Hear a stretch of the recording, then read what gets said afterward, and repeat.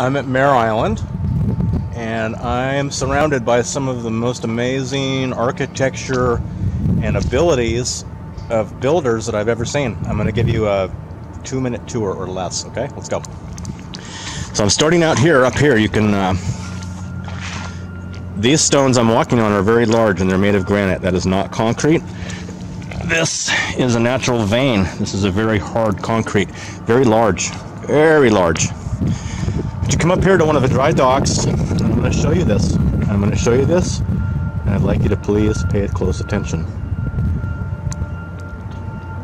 Every single one of those steps, all the way around, both sides, front and back, the entire bottom floor of those big, big stones. The other side, keep getting caught in the fence. And the other side are all granite. Down at the bottom of the dry dock, there's some very poorly added concrete that's been cut into along both sides. Along both sides. Very large construction, very extreme construction.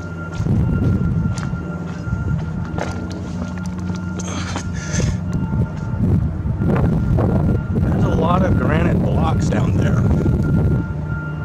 Very big. Very huge. All of it. It's all cut stone. But look down down in this void. Some sort of an archway.